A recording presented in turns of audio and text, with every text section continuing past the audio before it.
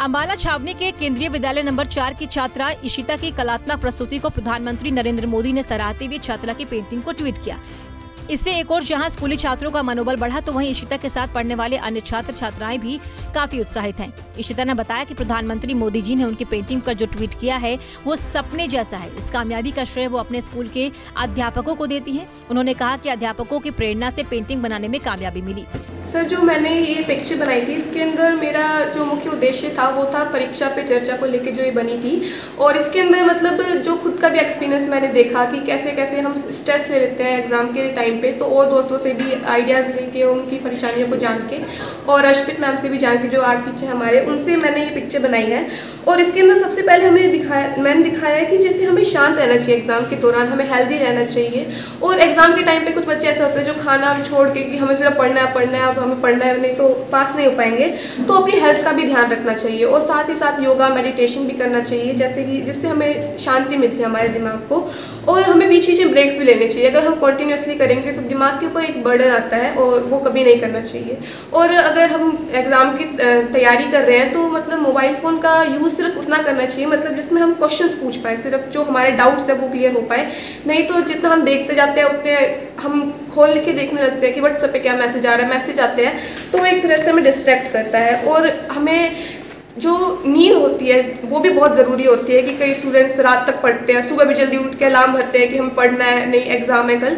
तो उसके ऊपर भी हमें ध्यान देना चाहिए और हमें एक ऑर्गेनाइज वे में अलग अलग बुक्स पढ़नी चाहिए। जैसे कि जो मोटिवेशनल बुक्स होती है, उनको पढ़ना चाहिए एग्ज़ाम से रिलेटेड उन सबको हमें पढ़ना चाहिए और इस सब की वजह से हमें सक्सेस मिल सकती है। मतलब कुछ स्टूडेंट कुछ ज़्यादा स्ट्रेस ले लेते हैं तो एग्ज़ाम्स फेस्टिवल की तरह उन्हें फेस्टिवल की तरह सेलिब्रेट करना चाहिए।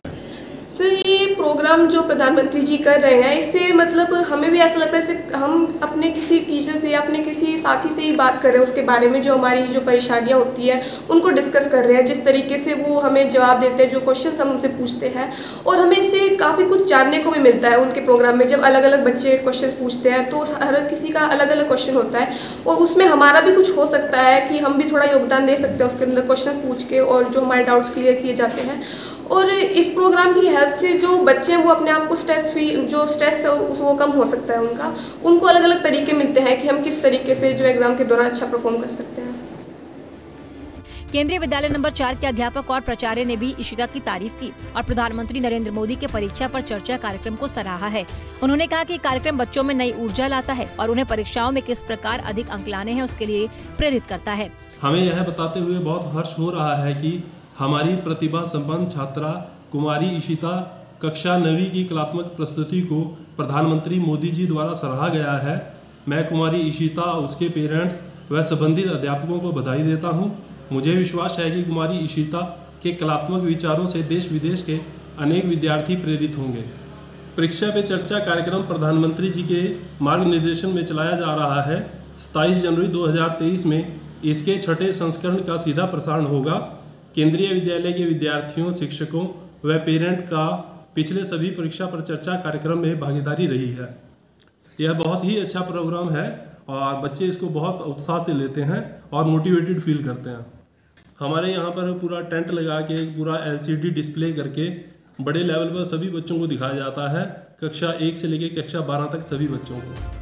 स्कूल की छात्रा की कामयाबी से स्कूल के सभी अध्यापक बेहद खुश हैं। इश्ता की पेंटिंग से एक और जहाँ लोगों को प्रेरणा मिली तो वहीं पेंटिंग में ये भी दर्शाया गया है कि किस प्रकार कामयाबी को हासिल किया जा सकता है।